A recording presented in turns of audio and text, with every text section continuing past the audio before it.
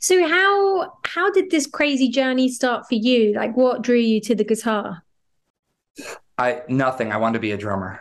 Actually, okay. that is this is what so many guitarists say. And actually, yeah. Nuno Bettencourt always says to me because uh-huh. he was drummer first, and he's like, actually, you know, learning to play the drums is actually like having good rhythm is vital to be a good guitar player as well. So did, yeah, I remember, did you actually learn how to play the the uh, drums or not?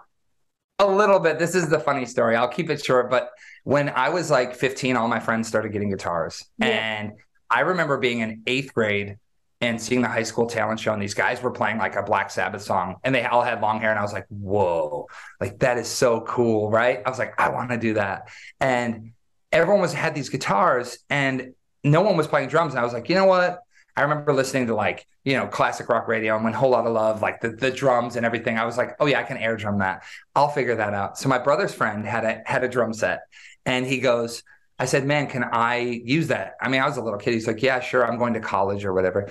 And uh, so I get this drum set. I bring it to my parents' house and I have um, my CD player all the way up, like right next to my face in our basement. I'm trying to play drums, right, with songs on the radio. My dad is like this hardcore construction worker guy. Like, you know, he walks downstairs. I can hear his boots coming down the stairs, you know, and he walks down. He looks at me. It's the only time he ever, he went like this. No, like, I'm not doing this. The only time he ever was like that. And he's like, I'm not going to come home from work and, and listen to you try and play drums. And I was like, but dad, you know, I really want yeah. to. And he was like, not happening. He's like, get a guitar. You can take it with you. And he goes, and if you really want to play guitar, we'll get you one, an electric with a volume knob so you can turn it down. yeah. So I got uh, the guitar, right? I was like, okay, cool. And I remember all my friends were like mad. They're like, we all play guitar. You know, you you said you were going to be the drummer, bro. And I was like, dude, I can't. Yeah. So instantly was connected to it. Like, I mean, by the time I learned my like like my first riffs, which were like like I said, Electric Funeral. And obviously, I was like every other kid. I remember Seven Nation Army was right when that came out. And I was like, yeah. oh, hell yeah. You know what I mean? It's good. That's so, a great one for a beginner. Yeah, I even figured that one out myself. Yeah, it was great. So much fun to jam along with that. So, like, I was hooked instantly. And um, I was like one of those kids that started, you know, it would be like 20 minutes here. And then, like, it turned into like 40 minutes. And then it went to like an hour and then it was like an hour and a half and i thought i was so hardcore. And next thing you know i swear i was that kid that was in his room seven hours you know on a saturday playing guitar. And you know i'd wake up in the morning i'd play guitar before school and then i'd bring it with me and play it during you know whatever. So by the time i was i started when i was 15 and when i was 17 i actually um, went to um, the summer program at berklee college of music in boston. Oh. and yeah, it was really cool. And at the end, they said, Hey, you should try an audition for the school. And I'm like sitting there picking my nose, like, what? Like, what are you talking about? And I auditioned for the school and I actually got a scholarship to go to the school. Oh, so great. I went to the school for six months and then I dropped out because it was totally not what I thought it was going to be. Um, I was learning how to conduct and write orchestral string arrangements. And I'm sitting there like obsessed with BB King and Buddy Guy and stuff. And I'm like, I just want to play the guitar. Yeah. So I left that school. My parents were mortified. And I said, I'm going to figure it out. I'm going to figure it out. And at this time, I was like 20 ish, um, working a landscaping job, like just trying to save money to do whatever, playing in a cover band. And I was living with my parents and I said, I need to do something or this is not going to go anywhere. So I actually moved to Los Angeles when I was 21 and with the, like everyone with hopes and dreams of doing something right? And growing up in wisconsin you know it's it's basically it's cornfields it's very rural right? Right. And i got an apartment in hollywood and it was like the movie scene where it's like uh where am i right? Yeah. But i went there and it was great. I mean i hit the ground running and i didn't have anything. I, it it got to the point where like my parents were like you just got to come home. And i was I was on the floor of the guy that now plays drums with me. I was I was sleeping on his floor for like I think it was like seven or eight months. Just like it was pretty bad there for a while. Yeah. But I never stopped and I was like, man, I'm gonna do this. So I started this trio under my name. And that's when I really it was like going to school, cutting my teeth, you know, started writing songs. and we started to play like little shows in Los Angeles. Like our first big show was at the Viper Room, Monday night, six o'clock at the Viper Room. Right. You know, and then we got the gig. Okay, we're gonna play every Monday or every other Monday at six o'clock. I was a rock star at that point. I was like, yes, I'm making it right. Yeah. So after uh, a few years of kind of just kicking around trying to do stuff like that, my first um, big break to call it would be uh, opening for Lynyrd Skynyrd at a motorcycle rally. Right. so after that, um, they said I, they were impressed with the way that I had played in my band, and they said, "Hey," I said, um, "They're like, what are you doing?" I was like, uh, "Not much, man. I just drove all the way from Los Angeles to South Dakota to to do this thing." And they said, "Well, we have some shows. Would you want to come open them?" So then we went from playing to like two people to playing in front of eight thousand people with Lynyrd Skynyrd or whatever, you know.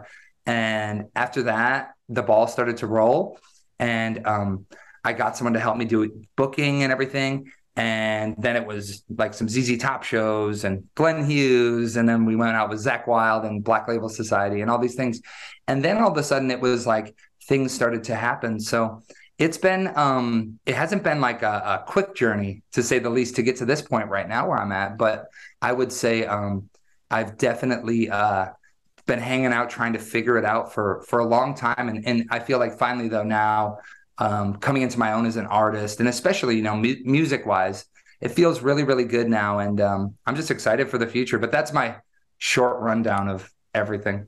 But that's a really inspiring story because, like you say, you know you're you're an incredible player, and it wasn't easy. You know, you did have to go out there and do you know do the do the road miles and stuff like that and then you get a break like opening for Lynyrd Skynyrd and then it kind of snowballs a bit um mm-hmm. What have you ever been offered? Because you know, you think you're playing with all these incredible artists that you've played with. Um, have you mm-hmm. ever been offered? Because obviously, guitar players leave the band. Have you ever right. offered a gig that's in like one of your hero bands, and and you're like, oh, I don't know, because I'm doing my own thing, or Right, right. That's a great question. There's been a few offers I've had to join like some like uh like there's a band called Blackfoot, which was like an old southern rock band. Yeah. I was on that gig. And then my name uh was brought up for after Thin Lizzy, the Black Star Riders guys, that was brought to my attention. And even so I've I've heard mumblings of like Skynyrd stuff. So I have heard things. Um, but here's my my my take on that. I would love to do all of that but yeah. only under one condition. I still want to be able to do your do own double stuff. duty. Yeah, because I would love, I, honestly, um, I would love that. It would be like a dream come true to play with any of those bands or any other bands. And I would just want to make sure that um, I could continue doing my own music. And um, like with the the Blackfoot thing, I remember I was like, "Oh, that'd be awesome." And the first thing they said, they're like, "Okay, you have to move to Florida." And at this point, I was like, "Oh man, I'm just finally starting to find my groove, right?" And they were like, "We want you to be exclusive to the band." And I thought, you know, you know, you don't. I'm, i hate saying this, but you only live once, right? It's like let's just shoot your shot and do your thing. Um, but yeah, great question. I have been offered a few, and you know, I definitely wouldn't wouldn't turn it down if it were the right thing, as long as I could do my own thing still. What would be the ultimate gig then? Who who would you love to join? Oh, geez, that's a hard question. Um, I mean, I watched. I, this is never going to happen, but I watched. I'm a really big fan of Doyle Bramhall II. Yeah. he was playing with Clapton. I was like, dude, I would back up Clapton. I want to. I want to be in Roger Waters' band. Yeah, I would love to play his guitar parts because David Gilmour, obviously, like all of us, huge hero. Yeah. Um, who else do I want to jam? Oh my gosh, I don't know. That's a great question. Um, I'll have to rack my head on that, but there's yeah, a ton. That's that's good. A, that's a good one. Clapton. That makes sense, doesn't it? I oh mean, my gosh! Like, yeah, that would be so cool. Even even to just do a, uh, because like I don't know about you, but I'm I'm such a fan of those music, and like even when I'm not working on my own music, like I like grab those records and still jam along to them. I just love it.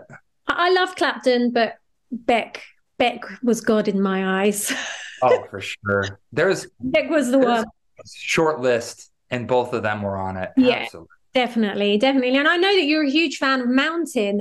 And oh, yeah. you actually played with Les- Leslie West. And I always kick myself because about, about 15 years ago, I, I, was going to New York and a friend of mine was friends with him. And he said, Oh, why don't you interview him?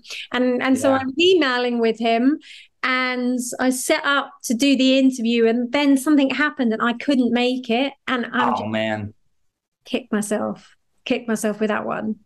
Yeah, he was so like I feel like Mountain was like the the US kind of uh answer back to Cream, right? Yeah. Like Cream broke up, everyone was doing their thing, and then this band comes out using the same producer, this who's playing the bass in the band. For me, Leslie West, it was like it was funny because I feel like he's almost like an underdog guitar player where yeah. a lot of people are like, "Oh, I've heard Mississippi Queen, it's good." It's like, yeah, it's slamming, but like as a player, he really had a cool, unique voice to the way he played. He was like he was massive. Like he was a massive human, right? And he had this little Les Paul Jr. It was almost like a grizzly bear with like a stick, you know, with a microphone on it. Yeah. And I just loved like the way that he played and the energy. And I remember when I was starting in like my trio, I was trying to think to myself, I'm like, okay, I love Stevie, I love Hendrix, Beck, Page, all of the guys, but I was like, what? Like, what is my sonic sound going to be? And I remember I was so into mountain growing up, and I just loved the the rawness of it because it for me it kind of transcends. It's like blues, hard rock. Yeah, it's it's, it's heavy, but it's still got soul in it. And um, his playing really spoke to me. Him and Stevie were like the guys I remember when I first heard them. Like Stevie when I was 15, and then Leslie when I dug in when I was like 20. I was like, this is the shit. I mean, much, so why, much so that, that why you went for the P90s. Totally. Like, yeah. Like, I'm just staring at this guitar and like this would have been like, you know, him. But like, yeah, that's why I went to the P90s and and all of a sudden I was like, man, I love this. And I think too, it just rings true about, you know, that everyone's unique. Like someone could play P90s like a guitar player and be like, oh, I these sound th- whatever, you know. But for me, when I found that, I was like, oh, you know, your eyes light up in a way that you're like, there's it, it ignites a spark that creates a fire. And I think Leslie did that for me, which was really great. No, definitely. I agree with you. And it is it's a shame, isn't it, that he doesn't get more mentions when people talk about great guitar players because he definitely had his own sound. And like definitely. you say, it was unique. He was playing that junior Les Paul with the P90s and stuff like that. He wasn't playing the Strat or the Totally. You know. It is it is strange because you know there's I feel like um he's definitely like kind of an unsung guy and um it's it's kind of cool now because I do hear like uh, the other day I did this thing at a, a, high school for the guitar kids in Nashville. It's like the Nashville School of the Arts, and this kid comes up to me. He's like 14 years old, and I'm like, dude, who do you listen to? He's like, you and Leslie West, and I'm like, whoa! Like, I bet Leslie would be stoked that people are still, t- you know what I mean? Like, yeah. it's just kind of cool, and I, I feel like um you know, I love that guy so much and his playing that. It's it's kind of fun for me because maybe some people haven't heard of him, like we said, and it's kind of hip to turn them on. I think that's kind of cool. Yeah, that's part of your job, isn't it, as well? That's, you know? It's the job description. Yeah. I'll show you something really cool. When when I jam with Leslie, um, hold on one second, let me grab this. He uh I played this guitar and uh I had it, right? And it's it's like one of the models before I did like a signature model, but um you said, hey man, will you sign my guitar? And he goes, Yeah, for sure. And I'm thinking he's gonna like sign the back of the headstock or anything. The whole front. I'm like, all right, cool. Awesome, dude. So yeah. it just kind of hangs on the wall now. But I thought that was cool. That is super cool. And you're like, mm, that's not that's not vintage, is it? Because I know you've got you've got stories with your guitars, haven't you? I need you to talk oh, about sure. some of these stories. So what was that one then? What was what's that guitar you've got there then that he signed? This, this guitar is a it's just an Epiphone. So I did um I have like two models, Epiphone models out. And uh this before the model came out, they were like, hey, let's just give you some Epiphones and you can mess them up. And this is one like I ripped the neck pickup out. Nice. I like put like some bolts in there and it's just a single P90. So this is I played the heck out of this guitar. I mean, for an Epiphone, it's pretty trashed. Um, but I have a, a, a few guitars that I have loves for. I mean, I could talk about them all day, but like this guitar, I got this guitar.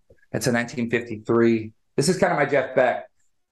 So this is the one that you got given, wasn't it, by the guy from the Les Paul Forum? Is that yeah, one? Charlie? Yeah, Charlie. Yeah. Mm-hmm. And it's a it's a beautiful. uh That is delicious. So that didn't come in that color, did it? It's been painted over, isn't it? Yeah. Okay. Yeah. So you can see there is gold. You can, I mean, it's probably hard to see, but you can see yeah. the gold and then yeah. there's the red over it. Um, do you want to see another really cool guitar? It'll take me like five seconds to grab it. Go and grab it. Yeah, that's cool. Okay, hold on. Give me one sec. It's still in the case from I was rehearsing till like 2 a.m. last night. Hold on one sec. Cool. So check this out. So this guitar was given to me as well. I'm very lucky with people like giving me things, I guess. yeah, you are. So this guitar, I'll tell you the story really quick. Um, I was on Instagram and this guy sends me a message, and I'm sure this has never happened to you, right? One of those messages that said like sensitive content, right? Where you're like, uh, I don't know if I should open this. Yeah. And it's a picture of a guitar. And he goes, Hey man, I know you like older Les Pauls. This guitar, I found it in my yard after a tornado in 2013. And I've had it hanging on my wall ever since. I wanted to ask you what you think I should do with it. Is it worth getting it restored?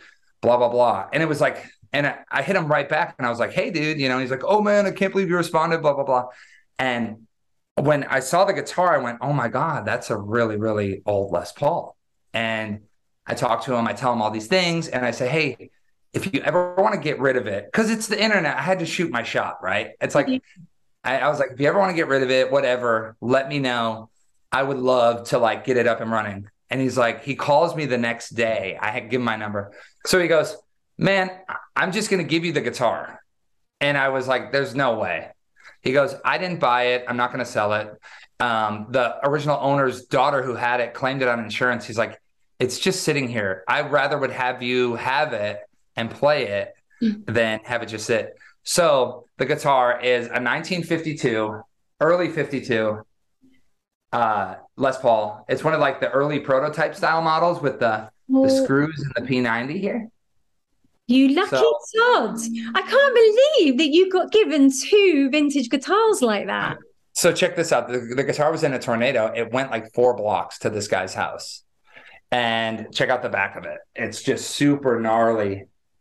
Oh my god, I love it. I love every scratch though is a story, isn't it? That's part of it. It's Yeah, and I mean the whole thing about it like when I got it I thought it was so cool and I and I thought to myself, man, like this is just a amazing piece of history. But then when I got it there was so much more to the story. Like we looked at the pots like, you know, here and mm-hmm. there's code so you, you could read, you know, when it was made the pots are from 1951 and the Les Paul didn't come out until like 1952. So mm-hmm. we started to think, man, this is really early. And we didn't know exactly how early. And uh, a few really, really recognizable people told me it's like one of the first 25. Holy. Ever. So what, yeah. what, what do we beautiful. think that's, what do you, what do we think that's worth? Don't know. We um, don't know. Let's not talk about it. I don't know. I, ask. Um, but I will say this: I play it every day, and it's named Dorothy from the tornado. I love that you give all your guitars names. I think it personalizes them. I think it's lovely. So is it be- is it beautiful to play? Does she play as good as she looks? It's the best one. Yeah. It's the best one. This guitar to me, I had no, I had no reservations. Like, oh, I hope it sounds really great. I just thought it was cool. Then when I got it, even Joe is like, dude, that guitar is gnarly. So I got it and I plugged it in at this theater. It was like I got it from the guy who helped me fix it up. Yeah. It like honestly, I had the chills. It was so good. It's just it's a beautiful, it's a beautiful Les Paul, and I'm just so happy I have it to make music on. That's brilliant. Is uh, has Joe tried to buy it off you? No, because he knows I won't sell it to him. yeah, exactly. Good. Don't don't let him have it. he won't get this one. I'm going to keep this one. He's got too many. He's got too many. So how do you totally. After, how do you after all these year, years? How do you keep kind of invigorating your playing? How do you keep the fire going? Um. Well, the biggest thing is I try to not take myself too seriously. I try and be in the moment and be present when I'm playing. Yeah. Um, I try and listen to new music all the time to stay inspired. Yeah. It's it's really easy, I feel like, as a player to get in a groove and to be like, all right, this is what I do. This is what I'm into, you know, and I'll talk about this forever and this is it. But I really try and branch out and listen to a lot of different music. And like I said, just don't take it too seriously. Just have fun with it. Just like the moment I picked it up, every time I pick up the guitar, I don't say, okay, I need to do something that's going to blow someone's mind, or I better make sure this sounds really good. It's like I just try and talk through the guitar. And that to me is that's that's what keeps it kind of you know interesting. Yeah, yeah, for sure. It's nice. That's great. And so, I guess I guess that's kind of it. Really, it's been great chatting to you. It's been really Thank you so much. Thanks for listening to my rambling. That is not no rambling whatsoever. You've got some great stories there, and it's really inspiring. I mean, for me as like a new player, and of course people that are listening um, at home and stuff, I'm sure they're going to be inspired by by kind of how how you sound and how you made it, and you know your stories and your guitars and everything. It's brilliant. Well, I thank you, and I hope we get to meet when I come to the UK. And uh, shoot, maybe we can even jam. That'd be awesome. Oh my God, no, don't. That Come would on, let's do it. That would be amazing, but I would absolutely die. Ask Joe about my playing; he'll tell you. Whatever, I don't care. It doesn't matter to me. But um, would, thanks so much for your time, and it would be awesome to meet. That'd be awesome. Yeah, let's do it for sure. So thank you for coming on, and uh, I'll see you soon.